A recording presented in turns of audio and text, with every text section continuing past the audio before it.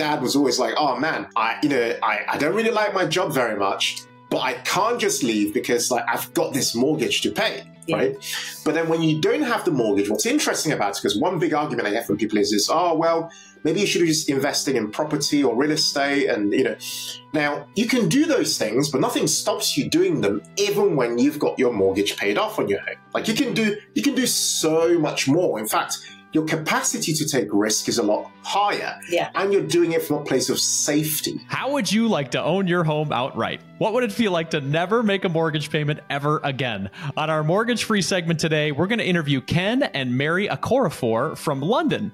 Recently, Ken and Mary became mortgage free. Today, we're going to learn how they accomplished this family financial goal and what they're doing with their money now. Welcome to the show, Ken and Mary. Hey. Oh, thank you so much for having Thanks us. Thanks for having us. I'm glad you guys are here and sharing your story with us to inspire others on their yeah. mortgage free journey. So thank you very much for doing this. I like to start off the show with the mortgage free three. These are quick, short answers about your story and how you did what you did. So let's start off with the first one. What was your starting mortgage principal balance when you began your mortgage free journey? So we paid off a total of about £380,000 or $475,000. Awesome. Thank and thank you for doing the conversion for us. I really appreciate it. and then the second question, how long did it take you to pay off that amount? It took us 7 years. So we had the goal to pay off in 10 years initially, but we were able to achieve it in 7 years. I love it. I love it. And then what was the what is the home value today? And you don't have to share specific numbers, but uh, uh okay. It's it's more than doubled in value. More than doubled. That is incredible. that is incredible. Well, congratulations on that accomplishment. Now that we have those numbers and now we know a little bit of the details, can you talk to us about why you wanted to become mortgage free in the first place? Sure. We've got a lot of a lot to say on this topic. So the first tip or the first point I wanted to share really is that it's the peace of mind and mental freedom. So there's a weight that gets lifted you know, off your shoulders when you no longer have a mortgage uh, to worry about. Uh, it brings the type of uh, peace that people can never really explain in words, and you need to really experience it yourself to be able to explain it. So that was one of the biggest ones the mental freedom. Yeah. I think the next one also was financial independence. So it just made financial achieving financial independence much easier mm-hmm. as maybe housing is for most people is one of the biggest costs that you'll pay typically um, or have to worry about. So mm-hmm. when you don't have the mortgage costs any longer it's like much easier and cheaper to maintain your lifestyle and be, be financially independent. Just to add to that i mean we've got quite a number of reasons that really inspired us one is the corporate career so we personally didn't want to work till we were 65, for example, yeah. in a corporate setting, but we still love working and wanted to do different types of work. So paying off the mortgage was almost another way to explore an, an entirely different career opportunity, but without the fear of trying to do that necessarily. Yeah. And then the next is savings. So we estimated that we conservatively saved an excess of over 100k um, hundred thousand pounds or one hundred and thirty-one thousand dollars in future interest costs. Just by actually making just by making those pay. overpayments, yeah, yeah. And you know, one thing about our story, and we haven't had the chance to talk about it, but it's worth talking about now, is is where we come from an immigrant background. I'm a first generation immigrant to the UK. Mary was born to immigrant parents, so another motivation for paying this mortgage off was seeing our parents struggle and effectively over time almost almost become slaves to the mortgage in a weird way. And it almost hindered their retirement. So seeing them struggle and wanting to do something different uh, was like a you know a big one. And then obviously tied to that is legacy for our children and that sort of thing. All of the above. I love all those answers. Those are fantastic. Now being in london since it's a pretty high cost of living area yes. was this a significantly large portion of your household income. And and and for that or, your household budget i'm sorry. And for that reason it made that much more of an impact. Oh huge. Um, the uk cost of living is very high and london is even more expensive if you live in and around london and, and commuter towns and that sort of thing. So um, it was a big part of our costs and has increased had in, has increased over time as interest rates began to rise. So the key thing about our journey was that we were paying off our mortgage when interest rates were lowest, yeah. which is unusual because people are like, why on earth would you do that? Yeah. But it also means that the debt compounds a lot slower, mm-hmm. right? Which means you're paying off a greater proportion of capital mm-hmm. compared to interest. So for us, it just made sense. But it doesn't make logical sense to a lot of people. Yeah, it's hard to put those emotions and the other things you mentioned, peace of mind, into a calculator, right? I don't think that that, yes. that doesn't fit well into a calculator. yes. so, talk to us about the mortgage yeah. paydown process because I think a lot of people hear these numbers and they say, "Wow, seven years that's a, that's a pretty aggressive timeline to do this." Talk to us about the process of paying this off. How did you do that? So, uh, we, we we took a multi. Um, a multi-strategy approach. So the different things we did that added up to the result. So the first is that we made mortgage overpayments. Bless you. So I want to just explain that and what that means in terms of impact. So imagine that you've got a uh, a person who has uh, a mortgage of, let's say, three hundred twenty-five thousand dollars over twenty-five years, and with an average interest rate of five percent when you overpay by a certain amount, it has a different impact in terms of interest savings as well as time that it wipes off the mortgage. So if you overpaid by the equivalent of £100 per month or $130,000 a month, it saves you about 34,000 US dollars in interest and wipes three years off the mortgage. In our calculations, if you overpaid by £500 or $650 per month, it will wipe out 83,000 pounds or the equivalent of 108,000 US dollars in interest and wipes 10 years off the mortgage term and so on. So the more you essentially overpay, the more it reduces the term of the mortgage due to compounding not working as aggressively, and the more it also saves you in interest over time. So overpaying was one strategy. What else would you add to that? So we lived on one income and used the other income for mortgage overpayments and paying, you know, into the stock market as well, investing in the stock market. Um, we used our bonus as well and redundancy money. So whenever we got the bonus, we didn't like book holidays. It all went into mortgage overpayments, as well as at least half of it. At least half of it. Yeah, yeah. we used some of it for fun fun yeah, is yeah, important. um, and then redundancy money as well that just went straight into overpayments because also we were able to secure another job quite soon after and we'd also had an emergency fund so we didn't mm. need to dip into that redundancy pay starting side hustles were pretty instrumental looking for alternative ways to earn an income using your existing skills or any new skills you've acquired so for us doing that was definitely one thing that helped to boost that income. We also made two payments a month as a way to um, uh, effectively make more payments in a shorter period of time, thereby reducing the impact of um, uh, compounding.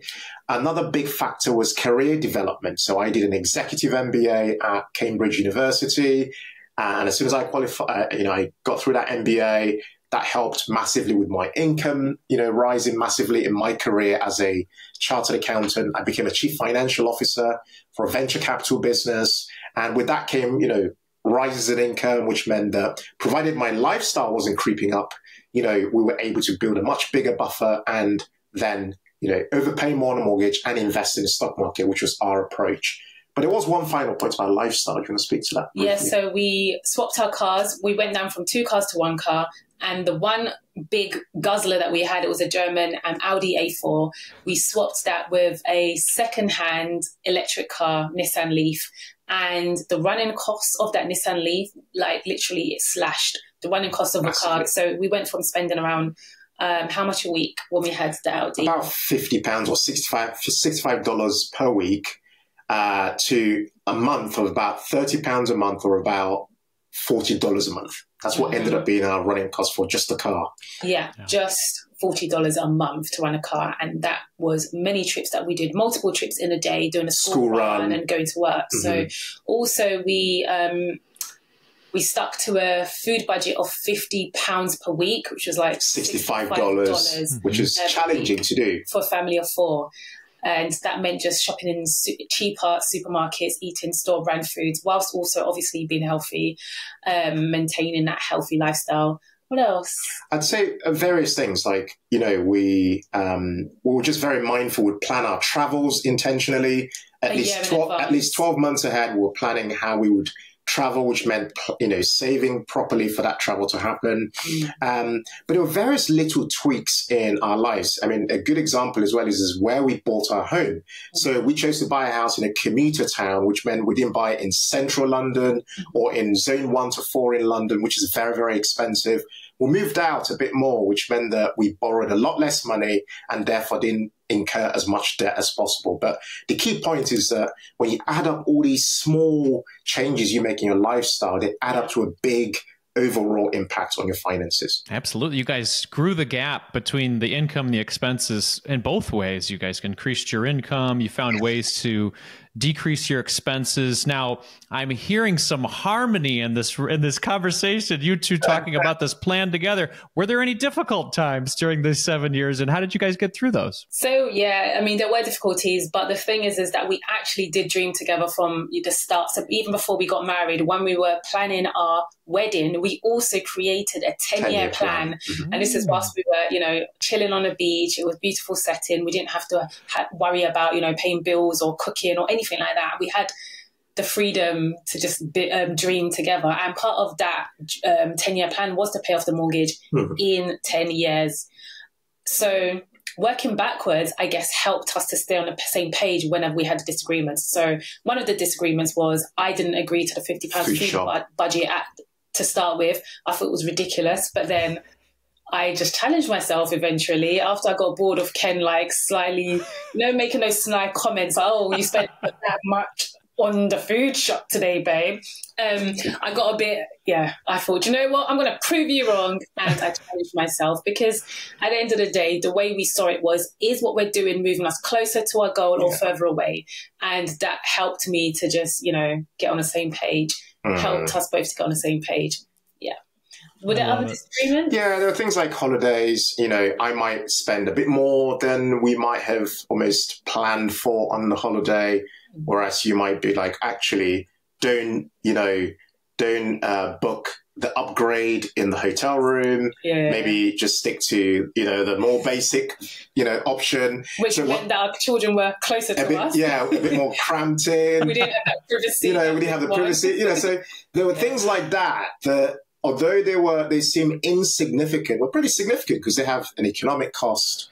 Uh, but then, to be honest with you, they didn't you know they didn't stop the long term goal we had. Yeah, yeah. I guess this is just one of the things that couples, you know, once in a while disagree on. Yeah, uh, absolutely. for the most part, for the most part, we were. Yeah, I love it. I love it. I mean, that that's a big part of what you value and what's important yeah. to you, and then coming together to have those conversations. And it seems like those conversations are a cornerstone of your relationship. You guys were planning oh, together oh, yeah. at the beginning of your relationship. You're planning throughout the process. Otherwise, this this would not work. Talk talk to us about how you celebrated this mortgage free moment or how things have changed since uh, you've become mortgage free. Talk to us about that. All right. So I'll tell you now. So when we became mortgage free, it wasn't a big explosion. Well, what do I mean by that?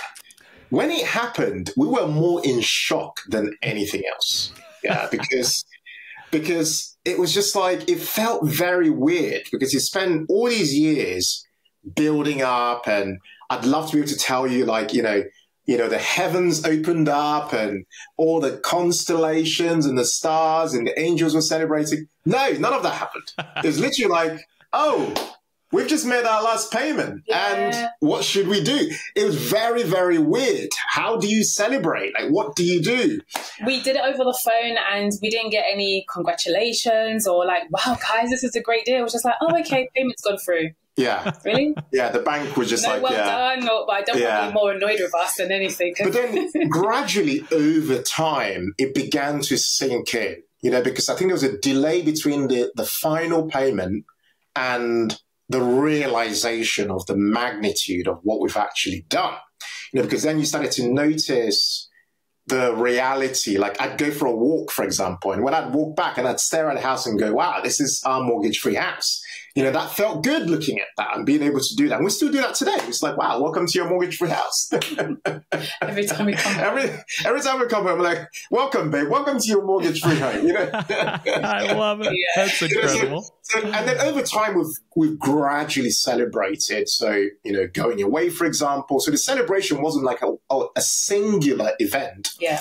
It's more of a lifestyle improvement and mm overall quality of life improvement that has come from the result of paying off the mortgage. I love it. Now, has that changed any of your working situation? You guys were oh, yes. in the corporate America. You, you, maybe talk about that. Your long term plan was to not do that in your 60s. How has that changed yeah. your work situation? Do you want to go first, and I'll share mine? Um, yeah, so I, I, I left the corporate world before you in 2000. And, no, no, no. Yeah.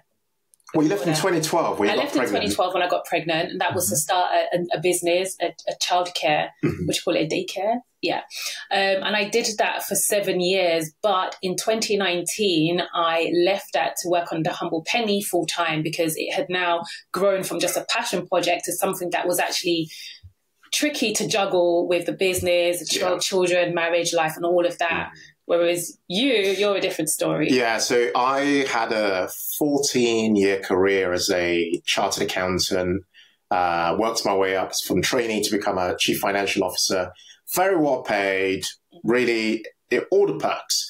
However, when uh, the pandemic hit in 2020, it all collided. So mm-hmm. I had a mm. board level role, I had you know our business or, or side hustle doing really well or taking off I had my job, which was very demanding, and working from home, which is very tough. Then I had the idea of homeschooling our two children during the pandemic. Then there was the mental challenges, then this marriage. There's so many things happening that we just thought, look, we've been working towards becoming financially independent and we're now there. However, leaving your corporate role isn't that easy, particularly when you get paid a fixed salary every month and it's very you know it's a nice to get you know yeah. and yeah. you're used to getting that income mm-hmm. uh, but it's the identity that your career gives you you know i was used to my linkedin title and you know all those very shiny things and all the perks but then i let that go uh, in, in in april 2020 because it all just collided and it was a good opportunity for us to say well actually we've got this far yeah. we don't have a mortgage where you know we've been we've got us you know lots of savings. Mm. Why don't we have a go at doing something else? So that's when I took the leap to basically focus on running the humble penny full time with with Mary um, as an alternative, I, I guess, career or adventure. Yeah, I love it. That's incredible. So how, how hours wise, how, how mm. has that changed your your working time oh, uh, doing doing what you're doing now versus what you used to do? So what I used to do, I, I'm going to talk about that first. So I would typically leave home at say 7:30 a.m. and on a good day I'd be back home at 7:30 p.m. or 7 p.m. on a good day. On a bad day, it could be 10 p.m. 10 p.m. 11 p.m. Right? Yeah. Or even later. Some, sometimes after midnight. Right? That's how that's how it was. Um, whereas what I do now, on a good week, I work six day, uh, six hours a day, four days a week, Monday to Thursday. So I work 9 a.m. to 3 p.m. and then I stop. Uh, on a really tough week, I might have a few calls in the evening. You know, I might have a workshop or something that I'm delivering or a podcast or whatever that I need to be on. Then I might do that in the evening. But the worst case scenario is I still have Friday off, Saturday off, Sunday off, and then most of my afternoon off in my new reality. So I'm happier. I'm less stressed. I'm like, I just, I'm buzzing a lot more. Yeah. I love what I'm doing. You know, I'm available for my wife. I'm yeah. available for my kids. I'm available. School run. I'm available for myself. Yeah. yeah. I get to do the school run. I get to do all the things that I used to dream of doing. Yeah. But yeah. also, you didn't mention that we take the whole month of August off to travel every year, um, as well as smaller like holidays in between that time. Yeah. So like a, a weekend here or a week holiday, you know, in like the months leading up to the long August month. Yeah. So we get a lot of time. So we end up t- we end up traveling probably for about eight to twelve weeks a, a year, something like that. Um, mm-hmm. When you add up all the various bits, so it's been a total lifestyle change. I mean, yeah. honestly, I wish someone, if there's a way you could work out potential life expectancy changes that happens from the less stress, less worry, less mental, you know, I don't know, arithmetic and all this stuff you worry about when you have, you know, big debts and various bits to worry about. So mm. it's definitely made a huge difference uh, in the quality of our marriage, Mm. quality of our family life, and so much more. So, with if you had your mortgage today, this wouldn't be possible. Oh no no no no no No. no no no! I mean, we'd still be doing some of those things. Yeah. You know, like we'd be traveling once in a while, but would be a, would there be so much more restriction? Is the best way to put it. Yeah. And also, I wouldn't have left my career Yeah. Because I look when you have a mortgage, it's it, it makes you more risk averse. That's in my personal opinion. Mm. Uh, because and I know this from my parents because my dad was always like, "Oh man, I you know I, I don't really like my job very much, but I can't just leave because like I've got this mortgage to pay." Yeah. Right. But then when you don't have the mortgage, what's interesting about it, because one big argument I hear from people is, is, oh, well, maybe you should have just invested in property or real estate. And, you know, now you can do those things, but nothing stops you doing them even when you've got your mortgage paid off on your home. Like you can do, you can do so much more. In fact, your capacity to take risk is a lot higher. Yeah. And you're doing it from a place of safety, you know. Mhm. So I just think for us personally, and it wouldn't be for everybody, becoming mortgage free has been like life changing beyond belief. Yeah. I love that. I love that. Now, you, you talked about your immigrant immigrant background and mm-hmm. having this be a new experience for your family. Talk to us about generational wealth plans for your kids. What does this mortgage free situation mean for them? What does it mean for their future? I love that question. So I guess, yeah, one of the main things it does for them is it, it creates that level of security for them and it's just a great foundation also for them. So we co-invest with our children and we have time to actually explain to them, you know, the meaning of investing. They get to look at their investment portfolio. You know, we get to explain to them, these are what, these are your investments. You know, this is how much it's made. It's gone down a bit, but don't worry about it because we're looking for the long term. You'll see how your investments will grow over time. Um, so I guess it's just that knowledge that we've given them and just that understanding that you can do things differently. You don't have to be so much of a consumer, but you can actually do things differently that will give you a solid foundation for yourself and, you know, a, a future that means that you don't have to stress or work until you're 65.